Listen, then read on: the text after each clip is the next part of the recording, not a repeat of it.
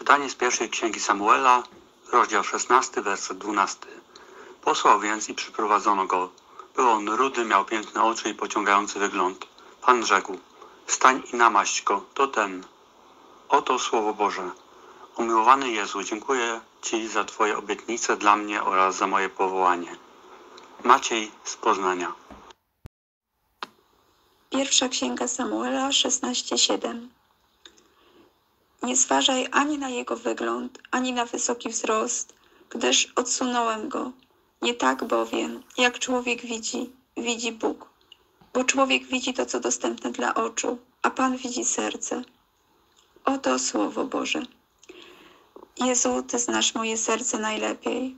Moc tych słów jest dla mnie tarczą przeciwko oskarżeniom, ocenom ludzkiego oka ale także moich własnych myśli. Jest również pięknym pouczeniem, że każde dobro, jakie zechcesz, aby przepływało przeze mnie, ma wypływać z mojej miłości, bo Ty patrzysz na serce. Ewelina.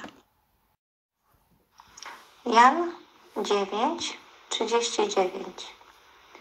A Jezus rzekł: Przyszedłem na ten świat, aby przeprowadzić sąd, żeby ci, którzy nie widzą, przejrzeli, a ci, którzy widzą, stali się niewidomymi.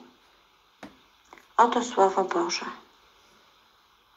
Panie Jezu, przyszedłeś na ziemię dla nas i ogromnie cierpiałeś. Spraw, abym widziała i dostrzegała to, co najistotniejsze i najważniejsze w Twoich oczach. Proszę, trwaj przy mnie. Aneta. Ewangelia według świętego Jana, rozdział 9, wers 11. On odpowiedział: Człowiek zwany Jezusem uczynił błoto, pomazał moje oczy i rzekł do mnie: Idź do sadzawki Siloam i obmyj się. Poszedłem więc, obmyłem się i przejrzałem. Oto słowo Boże. Świadectwo. Jakże ważne jest dawać świadectwo o tym, co Jezus Chrystus zrobił w naszym życiu. Wojtek.